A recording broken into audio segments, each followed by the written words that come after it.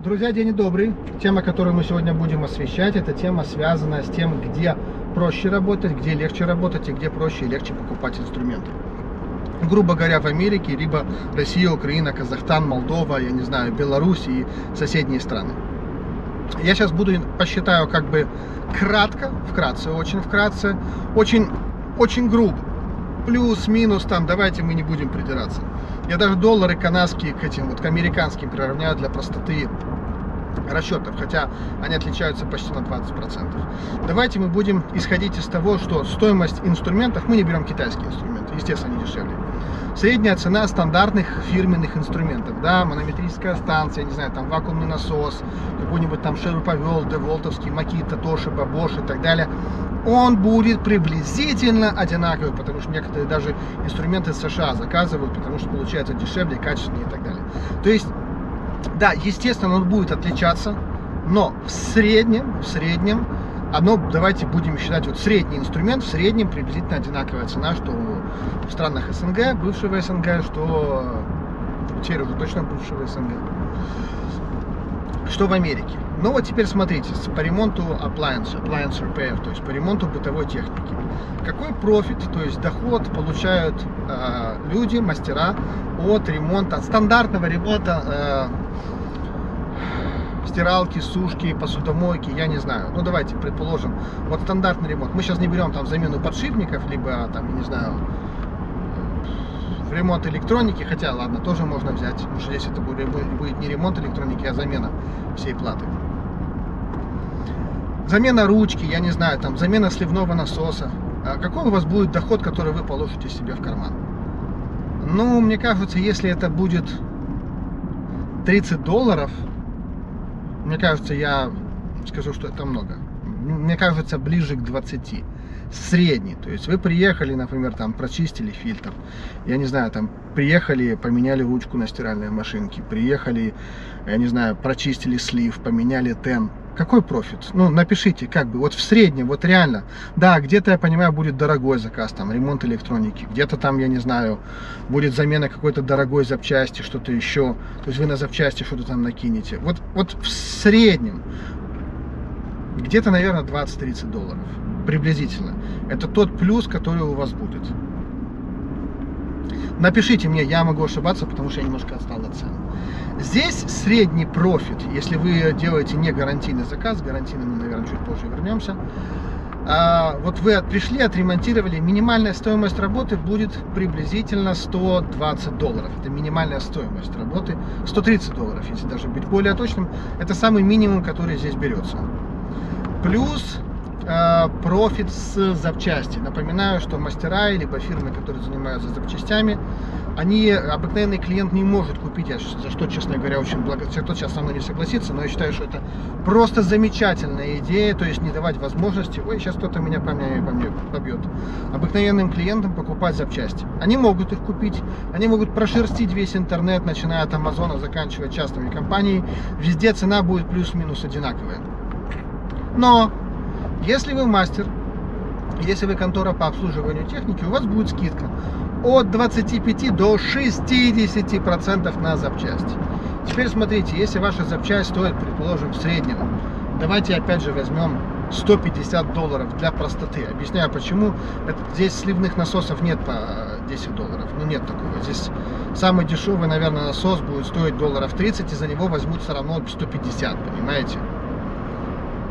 Вот грубо говоря так. Не, ну есть как бы дешевые вещи, хотя все равно там накидывается тоже в любом случае минимум полтинник. Смотрите, минимум полтинник накидывается на запчасти. Это как здрасте, либо больше, например, если это control board, то есть сама плата, то надо здесь поворачивать, а сама плата, я не знаю, там какая-нибудь ручка, какой-нибудь, да что угодно.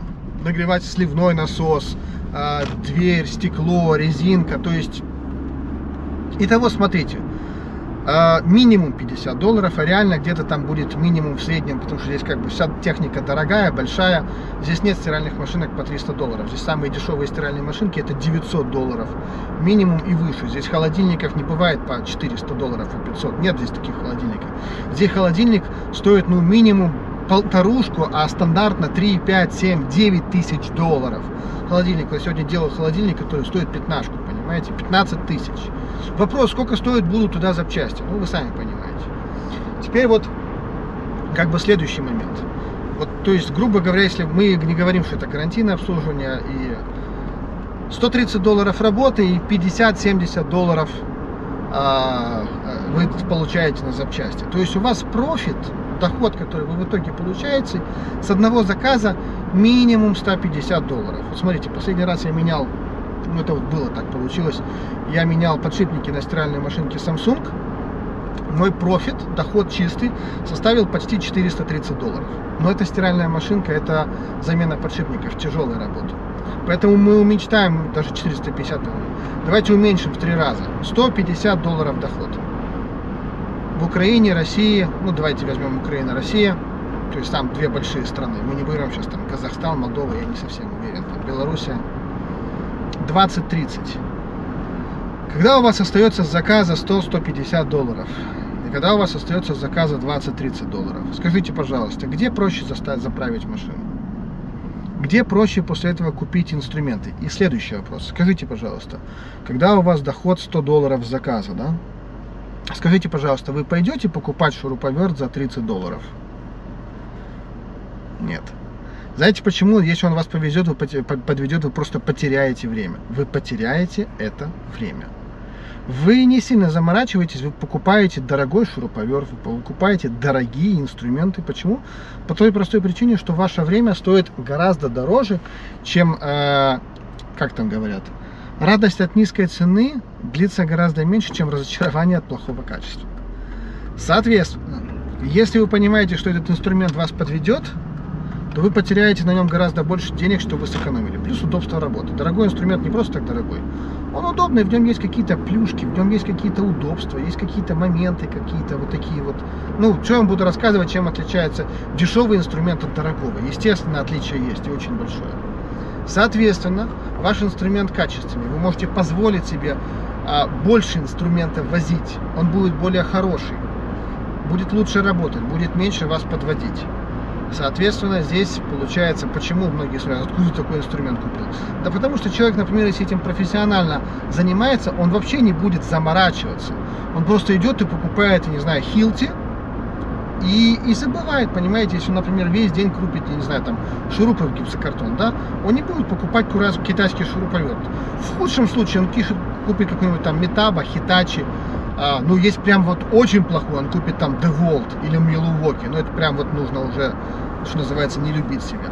А так он, не заморачиваясь, пойдет купить себе Hilti, и на этом как бы все закончится, он даже думать ни о чем не будет. Почему? Потому что он с помощью этого инструмента зарабатывает деньги. У нас, СНГ, это все гораздо сложнее. Почему? Я помню себя, мы все равно пытаюсь где-то экономить.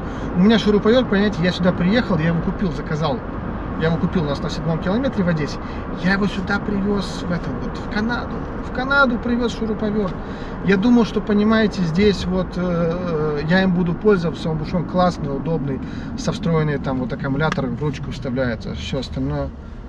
Я его как привез, да, но какое-то время, вы знаете, я даже им пользовался, я могу сказать. Потом, когда я получил первую зарплату, я получил вторую зарплату, я подумал, а что я буду мучиться? Я пошел, купил себе комплект Деволта. Так себя обидел, да, две минуты назад. Купил себе комплект Деволта и все.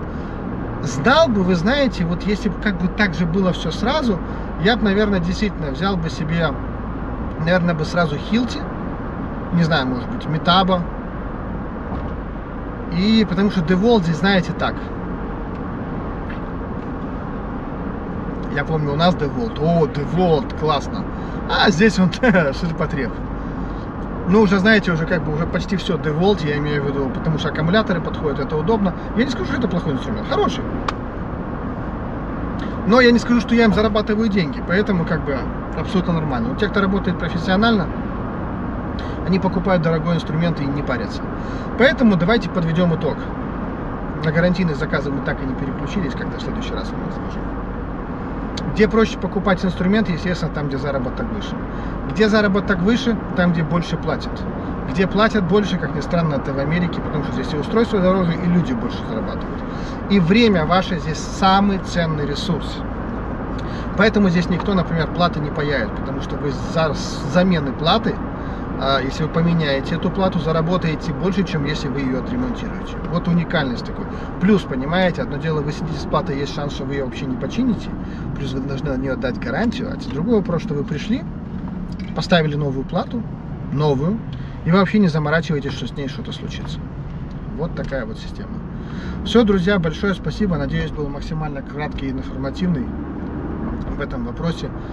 А, напишите свое мнение по поводу вот, заработков, по поводу отношения к инструментам, по поводу стоимости среднего заказа, среднего. Учите, учите много факторов. Я понимаю, что хочется написать, чем больше, тем лучше. Но вот, а может наоборот, кто-то меньше напишет. Все, спасибо, жду вашей ответной реакции. Божьих вам благословений и мудрости в это сложное время. Пока.